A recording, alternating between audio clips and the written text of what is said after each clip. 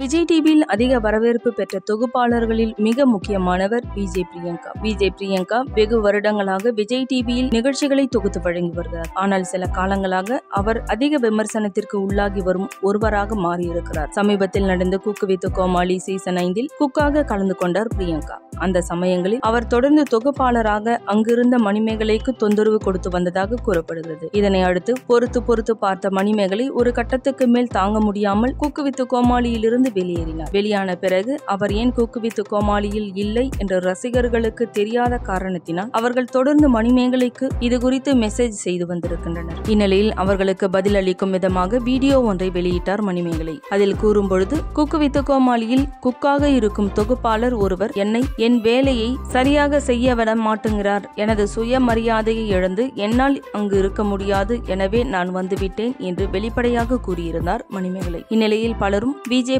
பிரியங்கா குறித்து எதிர்மறையான கருத்துக்களை பேசத் தொடங்கினர். மேலும் விஜே பிரியங்கா தான் அன்று குக்கு வித்து கோமாளியில் மோசமான வார்த்தைகளை பயன்படுத்தி மணிமேகலை திட்டியதாகவும் அதனால்தான் மணிமேகலை அந்த நிகழ்ச்சியிலிருந்து வெளியேறியதாகவும் இவர்கள் கூற துவங்கினர். இந்நிலையில் இதற்கு எந்தவித பதிலும் அளிக்காமல் இருந்து வந்தார் விஜே பிரியங்கா. இந்நிலையில் விஜே பிரியங்காவை சுற்றியுள்ள வட்டாரத்தினர் கூறும் பொழுது அப்படிப்பட்ட ஆளெல்லாம் விஜே பிரியங்கா கிடையாது. அவர் விஜய் டிவியில் நிறைய ஆட்களை மேலே உயர்த்தி வைத்திருக்கிறார். பிரியங்காவை பற்றி தெரியாமல் இவர்களெல்லாம் இப்படி பேசிக் கொண்டிருக்கின்றனர். இது குறித்து பதிலளிக்குமாறு நான் பிரியங்காவை கேட்டேன். ஆனால் அவர் இந்த விஷயங்களை எல்லாம் சுத்தமாக கண்டுகொள்ளவே இல்லை. அவர் உண்டு அவர் வேலை உண்டு என்று இருந்து வருகிறார். மேலும் இது குறித்து விஜய் டிவி நிறுவனத்திடம் கூறிவிட்டேன். அவர்கள் இனி பார்த்துக் கொள்வார்கள் என்று கேஷுவலாக கூறிவிட்டார் என்று கூறுகின்றனர்.